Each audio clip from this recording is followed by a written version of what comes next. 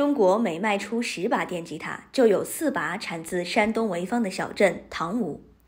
山东省潍坊市昌乐县唐吴镇乐器产业起源于二十世纪七十年代，经过五十多年的发展，唐吴乐器远销欧美、日韩等三十多个国家和地区，被誉为中国电声乐器产业基地。唐吴镇的居民从事的工作也大多与乐器有关。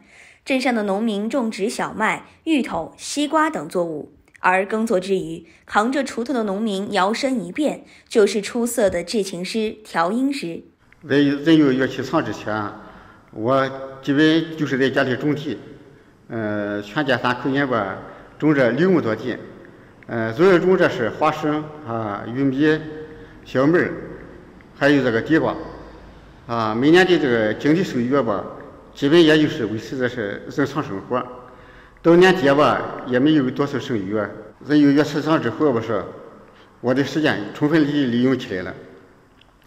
呃，上午呢到乐器厂上班，下午呢到田野里种地，这样呢我就获得了两重收益。我的生活呢水平呢逐渐的提高了，衣食住行也逐渐的改善了。呃。家庭呢也越来越富裕了。李庆峰目前在乐器厂从事调音工作，每个月除种地外的额外收入有六千多元，极大提高了他们一家的生活质量。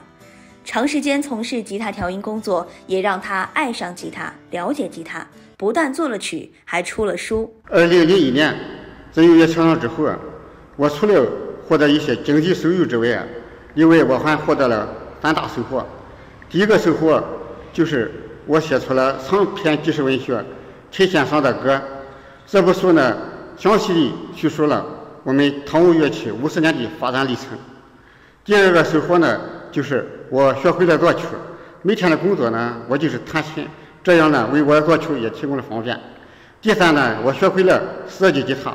二十年的时间里，从只能维持基本生活到独立写书作曲，乐器厂的工作成了李庆峰的底气。同样从事乐器行业的村民秦继铎，不仅提高了生活质量，还创办了自己的工作室，在国际上都有了一定的名气。零五年，我到青岛一家乐器公司，他们是专门做马托铃的。后来我就慢慢接触到马托铃，并且喜欢了它，开始制作它。从手工制琴的历史来看，作坊更能出精品，更能满足个性化需求。因此，一六年我回乡。创办了自己的五度音工作室，独立制作马托铃。秦继铎成立工作室至今已经六年了，目前每个月能接到四五个国际订单，平均年收入在三十多万元。